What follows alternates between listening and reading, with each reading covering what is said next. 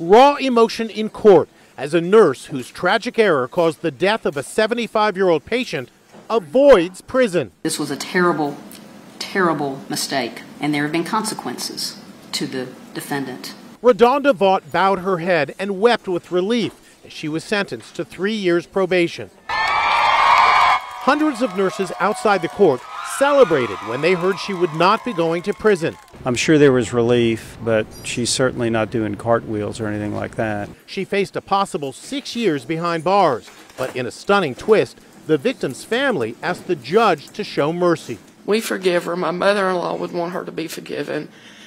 And jail time is not an option to me. I mean, it's sad all the way around for everybody.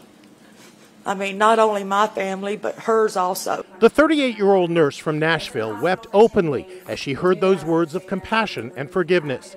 Then she turned to address the family and apologized for the first time in the four years since the tragedy. Saying I'm sorry doesn't seem like enough, but you deserve to hear that and you deserve to know that I am very sorry for what happened.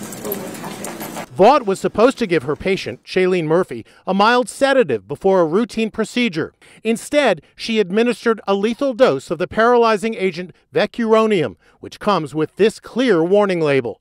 She was found guilty of criminally negligent homicide in a case that ignited fury among nurses across America. Hundreds of nurses kept a vigil outside court and followed the dramatic sentencing on loudspeakers.